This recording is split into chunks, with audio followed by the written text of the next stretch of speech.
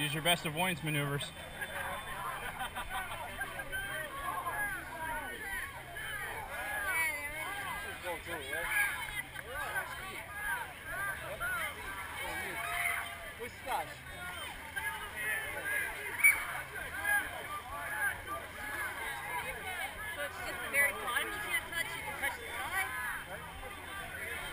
The wire's where the electricity is.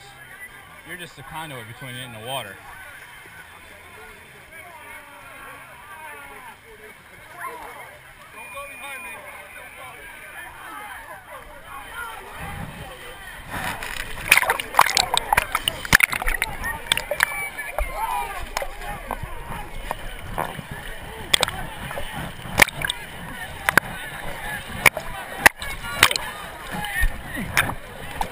Ah!